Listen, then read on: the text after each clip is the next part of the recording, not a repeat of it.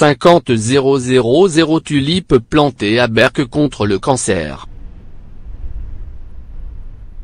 Le Lyon Club s'active pour trouver des fonds pour la recherche. À cette période de l'année, les champs de l'entrée nord de Berck-sur-Mer sont toujours bien fleuris.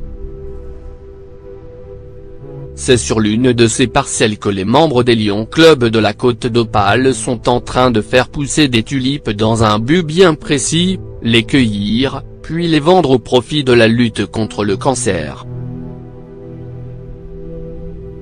Un anniversaire national fêté sur le plan local. Une opération qui se répète chaque année pour les bénévoles des différents Lyon Clubs locaux et ceci depuis 2012.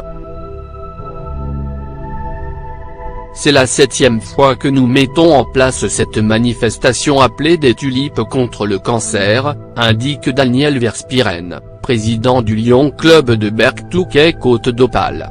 Cette année est particulière car sur le plan national, nous nous apprêtons à fêter le 30e anniversaire de l'opération.